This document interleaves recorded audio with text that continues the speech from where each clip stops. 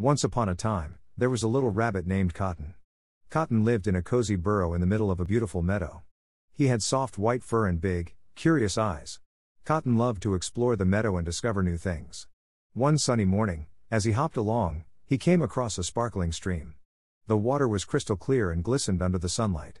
Cotton was fascinated and decided to take a closer look. As he approached the stream, he noticed a small bridge made of stones. The bridge led to a dense and mysterious forest on the other side. Curiosity got the better of Cotton, and he hopped onto the bridge, venturing into the unknown. Inside the forest, Cotton encountered a wise old owl named Oliver. Oliver lived high up in a tall oak tree and had a reputation for being knowledgeable about the forest's secrets. Cotton was eager to learn from him.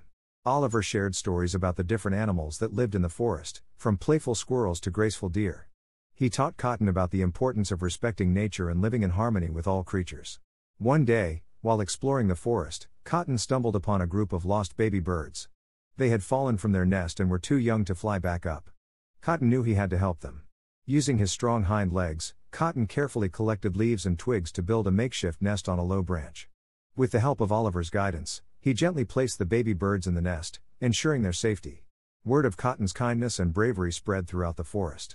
Animals from all walks of life admired him and looked up to him as a role model.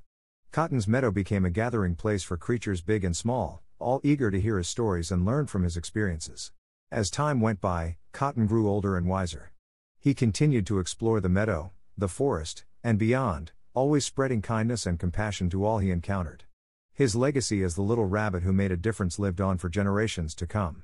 And so, the tale of Cotton, the little rabbit who found adventure, friendship, and purpose, remains a beloved story in the hearts of those who appreciate the wonders of nature and the power of kindness.